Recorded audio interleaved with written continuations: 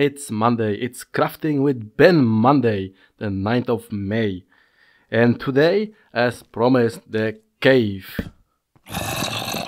And this time I have not been holding myself back between what is possible for you to make and what is not possible for you. I just made a cave that perhaps you're able to do it as well. It's an tunnel cave, so it's not going up and down as you see that often in the game.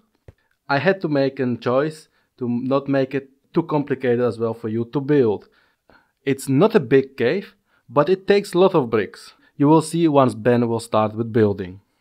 It's open in the front, so you can play with it. I put some bricks to create a nice border between what is the inside and the outside. On the top you see dirt with trees. The reason for this is whenever you choose to build something like this, you can blend it nicely into your perhaps existing Minecraft world.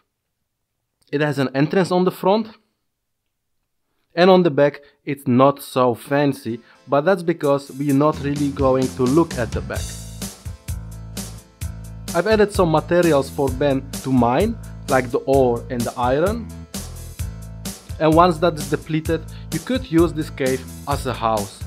But be careful, there are mobs inside like the creeper, the skeleton and the zombie. Once you eliminate them, you put some torches and they won't respawn again. Alright then, it's time for Ben to start crafting and show you how you possibly could build this cave and if not, then it's a good inspiration for you to come up with something of your own.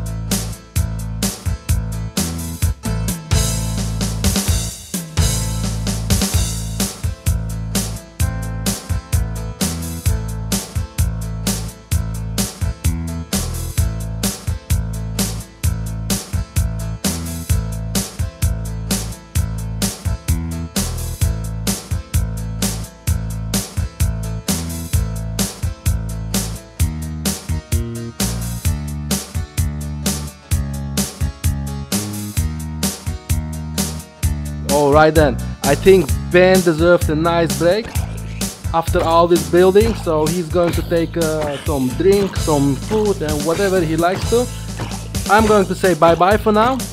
What I want to add is that this Friday I have another animation coming up, but it's not Minecraft, it's Angry Birds, Angry Pigs and little bit minions in it, it's a mashup but for the Minecraft episode you will have to wait one week longer and that's gonna be day 46. So that's it for now. I wish you a nice week till Friday and see you then. Leave me some comments. I will do my best to reply on them.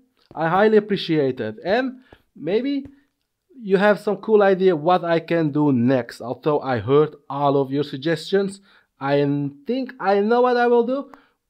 But I always like to see your suggestions. Alright then, have a nice day.